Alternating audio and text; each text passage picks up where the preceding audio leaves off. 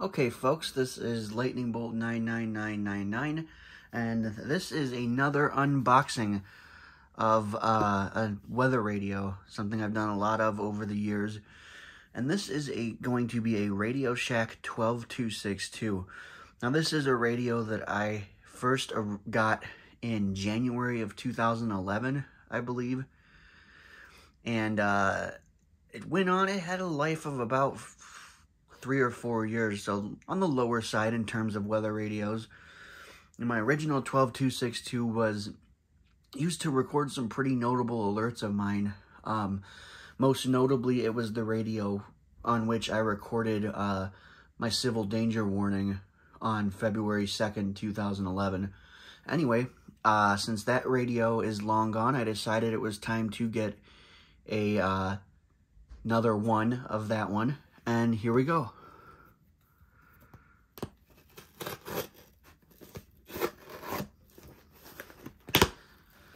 I found this on eBay from somebody who was selling it, so we'll see.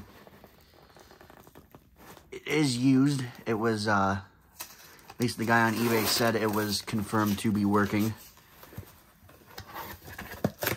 We'll see. All right. He's got it packaged up nicely. It's the adapter, I'm sure.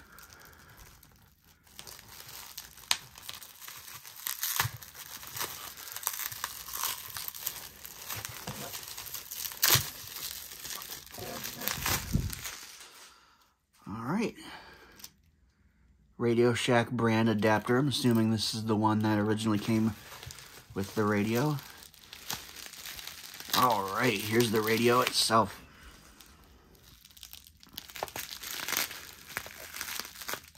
Already bringing back nostalgia because it's been nine years, I think. My original, hold on. Yes, there it is. My original, my original 12262 stopped working uh, and died in 2014. So that was nine years ago.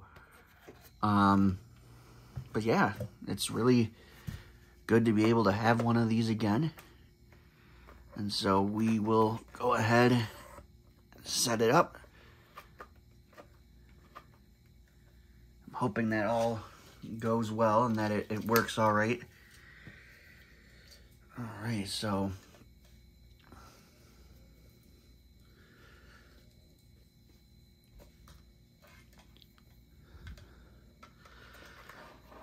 get this going here.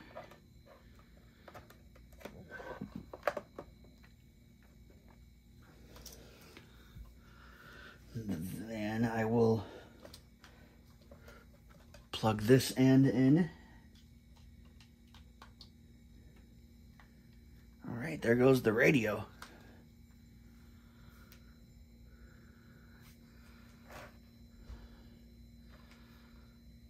All right, and it settled on channel 5, which is my usual uh, channel anyway. Let's see here.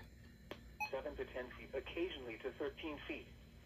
Friday, northwest winds to 30 knots, diminishing to 15 to 25 knots. And it seems to work great. And this is really, really nostalgic for me right now. Uh, just the button presses and the sounds it makes and everything. I had a 12521 that worked up until last year, which is a similar radio, but this is this is really one I haven't had in a long time. So it went through the channel scan. Let's that auto. Oh, so it was on the auto setting, and that's why it automatically selected the channel, but I want it to be on manual. Tuesday night, south winds to 30 knots become... Okay, the next thing on the agenda. Backlight, um, off, on, auto. What does auto do? I believe... Oh, auto leaves the backlight on for like a few seconds after you press the button. Uh, you know what? I'm gonna have that off for now. just for the purposes of this video, it's easier to read what's on the screen if the backlight's not on. Uh, next thing, set country. Oh. I forgot that you could do that.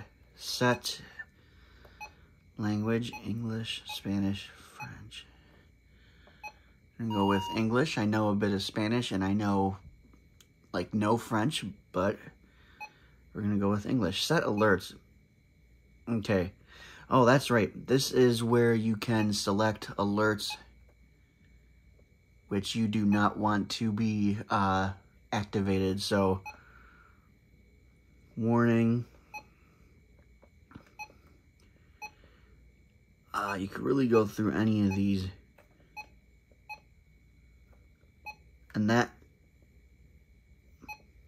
little symbol right there indicates that it is a uh, an alert that is that the radio will go off for. So if I wanted to, I would hit that and then alert off. But I'm going to keep most of these on so that the radio will go off for them.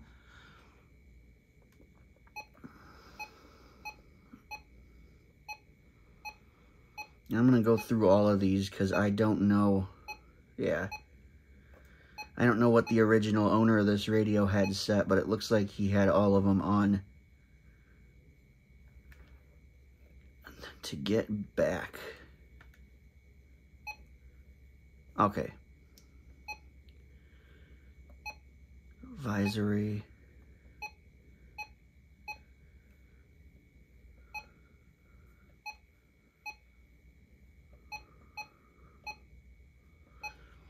Yeah, he had a lot of these off, and I want like everything to be on.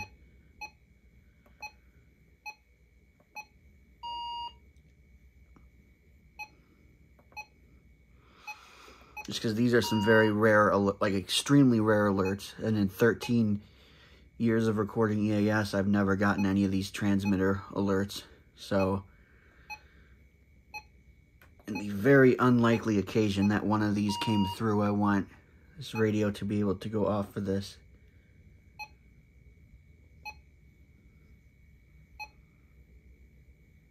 Required weekly test is off, so that's that's the symbol that it shows if it's an alert that you don't want the radio to activate for.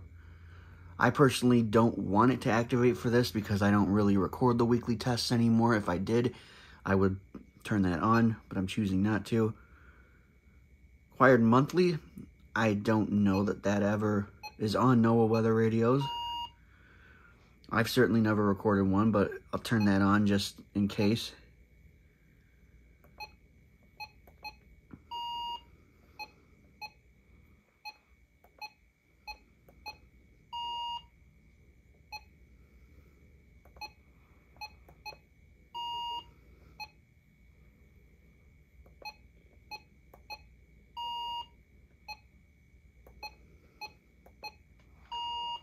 Yeah, all these rare alerts.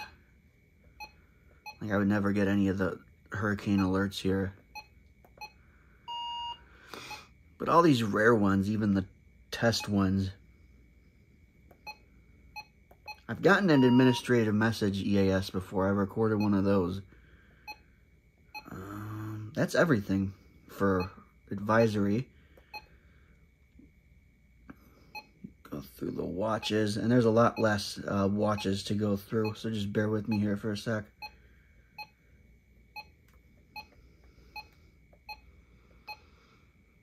Like here in Illinois, I would never get something like a, uh, hurricane watch, but there are instances where uh, there are mistake activations.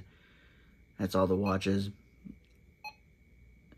And uh, in the case that like a hurricane watch was mistakenly activated here, I would want to be able to record that.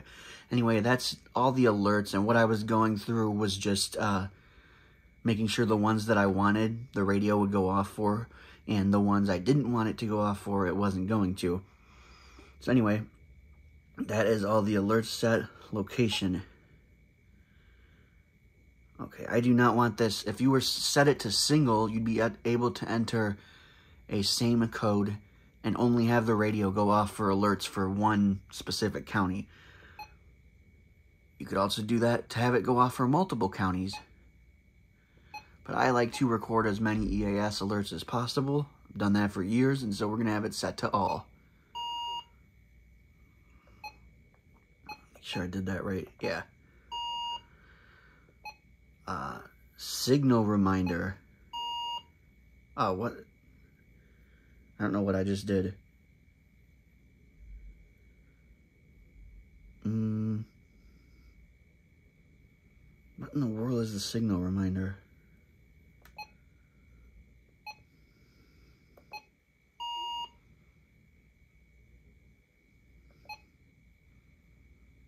I have no idea what those are. Alert mode. Tone, I don't want it on tone. I want it on voice so that the alarm will go off on the radio and then plays the voice message. And we're back to select channel. So we've gone through all of the settings. And we're back to the main part of the radio. Clock, we're going to set the clock and it is 1.23 p.m. right now. Does it go? Yeah, it does it that way.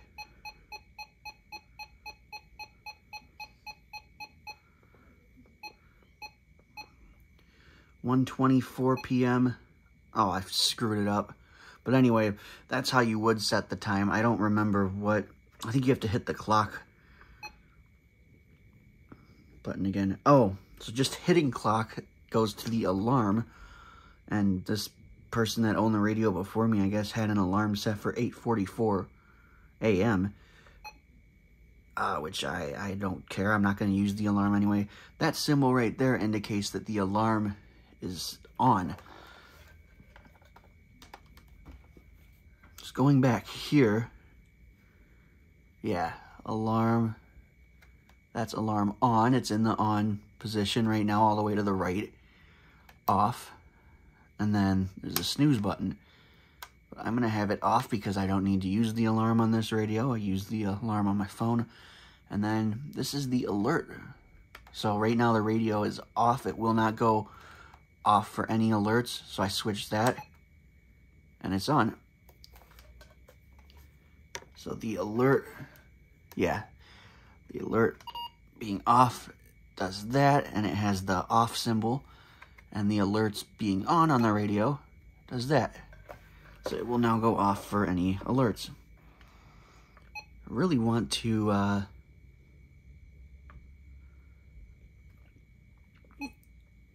give setting this clock another go.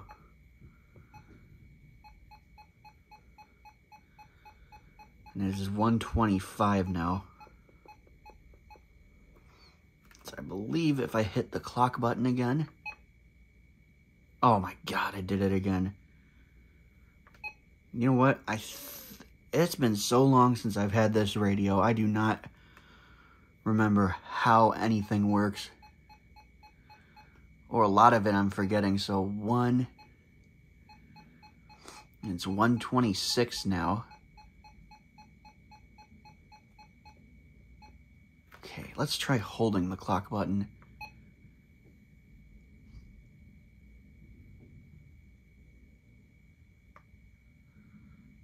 What in the world? Okay, um...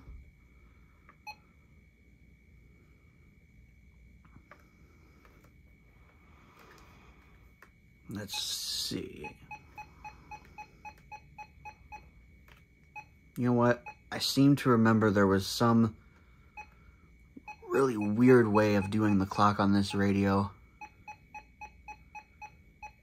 Oh, I think I know what it is. I think you have to hit this. Yes, okay. That took a, on, oh, it just turned 127, so now the clock's not right. But anyway, that is uh, unboxing and setup of the Radio Shack 12262. Oh yeah, one more thing. Forgot you can set the volume of the alarm, like the alert tone on the radio by pressing the down or up button. So down. Yeah. So, okay, it's set. So this is the alarm on the radio. Or, oh, I have it on the lowest setting. But, that. And that's it. I don't know how, I don't remember how high the setting goes, but honestly, I don't want to find out. Um, I'm going to have it on the lowest setting because I live with other people and uh, quite honestly, in the spring, there's, I'm sure, going to be a lot of alerts. Anyway, this was the unboxing and setup of the Radio Shack 12262. Again, uh, 12 years after the first time I did it. And yeah, thank you for watching. Look forward to recording alerts off of this radio when uh, some more EAS starts coming in.